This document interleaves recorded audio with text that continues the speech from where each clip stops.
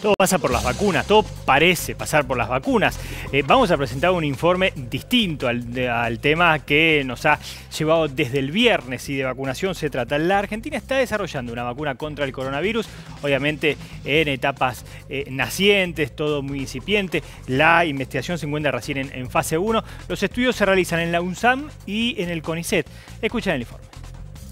Estamos eh, en un momento de desarrollo del prototipo o sea, ahí ya muy avanzada, muy sólida las pruebas en laboratorio y en, animales, eso se llama la fase preclínica, y están avanzadas las negociaciones con en laboratorios que estarían dispuestos a entrar en fase productiva para, con las autorizaciones de la ANMAT, entrar a la fase clínica. La fase clínica supone ya comenzar los ensayos en humanos, fase 1, 2 y 3, ya para que luego, como pasó en el resto del mundo, los países adopten las, vacunas. Esto viene ya con decenas de años de investigación básica muy sólida, en colaboración con virólogos, con infectólogos, han desarrollado esta plataforma, han hecho varias pruebas, ya tienen por eso, por eso hacía muy buen este, resultado en laboratorio y en ratones, y entonces la expectativa es que estas condiciones, que son condiciones necesarias, o sea, tener todos estos antecedentes y este, la posibilidad de hacer pruebas en humanos, tiene que estar sostenida con el financiamiento. Si esto prospera favorablemente, o sea, la asociación con una empresa y el financiamiento del Estado y el propio sector privado, la expectativa es llegar en un año o un año y medio a tener ya la vacuna en producción y en provisión. Bueno, allí la última frase, la que seguramente ustedes querían saber desde que empezaron a escuchar el informe, en cuánto, cuánto podría estar lista, un año, un año y medio. El doctor Perrones nos va a contar. Nosotros lo escuchamos, doctor. Eh, vamos a empezar por el final. Un año, un año y medio, estamos hablando de, esos plazos.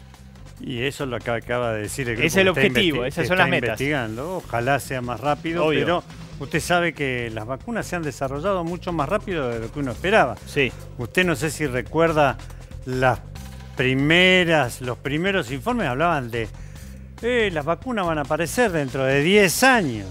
Y ahora hay vacunas que llevan pocos meses de investigación, como 8 meses. El primero que, nos tranquilizó fue eh, el doctor Perrone, que dijo en octubre ya está. En octubre tenemos. En octubre ya está. Y, él, y él flameó la bandera del octubre. Y, en algunos países estuvo. Sí, estuvieron. Sí, en octubre ya, tenía, ya había vacunas en, curso aplicadas en humanos y aprobadas por los ministerios de salud locales. Este cuadro quiere decir que hay dos que está Hay dos vacunas en Argentina. Mm. ¿sí? Una que se anunció allá hace varios meses y otra que se acaba de anunciar ahora. Una es la de la Universidad de San Martín junto con el CONICET, el, informe que escuchábamos recién. Biomédica. Eh, es ADN recombinante, un ADN recombinante en la superficie del virus, del, un ADN recombinante de la superficie del virus en la vacuna y que está siendo experimentada en ratones, ya en etapa bastante avanzada en, animales, mm. en estos animalitos. Y la otra es la que acaban de anunciar hace poco tiempo, mucho menos tiempo, que acabamos de escuchar, que es una investigación del INTA con eh, el INTA de Bariloche y el INTA de Castelar, junto con el apoyo del laboratorio Vago, que utiliza un ADN viral rodeado de nanoliposomas. Son grasitas muy, muy pequeñas que alcanzan a llevar a, este, a esta proteína viral a eh, la célula presentadora de antígenos que es la que se va a comunicar con los linfocitos para producir los anticuerpos. Muy bien explicado, sintético y, catedrático. Esto independientemente de, lo que se desarrolla o lo que se produce en el laboratorio Max Science y, demás. Es decir, estas son dos vacunas eh, locales. 100% industria nacional, insistimos, etapas preliminares, ambas recién probándose en animales, en, Hay componentes de la vacuna que son que vienen, claro, vienen de afuera, pero eh, se están experimentando en animales en una etapa bastante interesante. Por ejemplo, la del INTA que se anunció hoy es una etapa que trata de, están en una etapa tratando de buscar la inmunidad celular en los ratones. Y después de esto va a venir una etapa que combina las dos, la inmunidad celular y la inmunidad eh, de suero, los anticuerpos. ¿sí?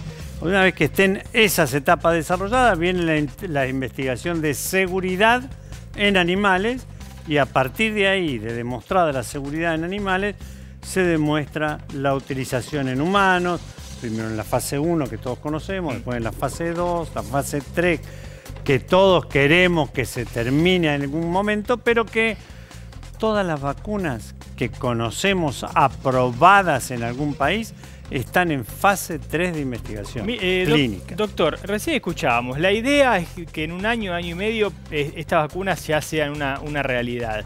Eso impacta de lleno en otra, en otra, en otra reflexión que el coronavirus llegó para quedarse, que las vacunas han llegado para quedarse. Es más, que las vacunas tendrán que ser aplicadas con determinados periodos, quizás eh, cada dos años, no se sabe a ciencia cierta, o menos, ¿no? No, o no, no sabemos si uno o dos años o todo el tiempo del mundo. Fíjese, usted sabe, en, cálculo entre vacunas aplicadas sí. y gente que ha desarrollado la enfermedad y se ha recuperado, ¿saben más o menos cuántos tenemos? Más de dos millones. O sea, más, de los infectados, más que los infectados. Ajá. Entre vacunas y recuperados. Entre vacunados y recuperados. A lo que iba también, no está claro cuánto tiempo de, anticuerpos generan. Vamos a tener y cuánto tiempo durará la inmunidad celular. Eso.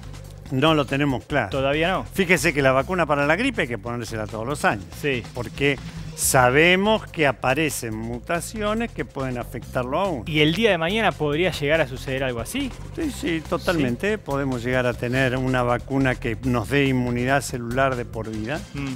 O la infección que nos dé inmunidad celular de por vida.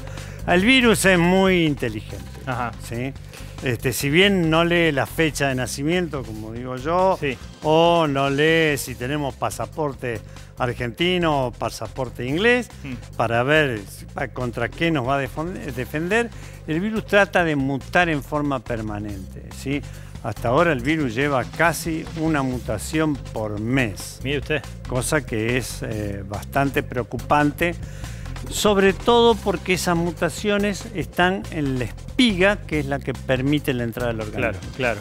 Eso es, lo que preocupaba. Eso, no, eso nos fue enseñando. Eh, le agradecemos, doctor, ¿eh? bien vestido, nos gusta siempre su, su ambo.